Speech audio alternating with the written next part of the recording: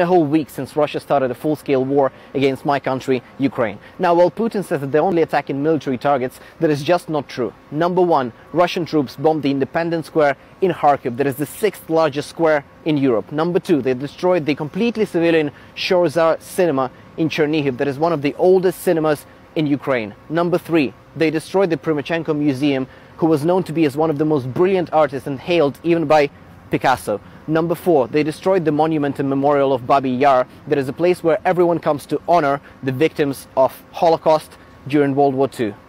And number five, they destroyed the largest aircraft in the world, the pride of Ukrainian aviation, called Mriya, that is translated into the dream. Please share this video to fight Russian propaganda and stop the war. Slava Ukraini!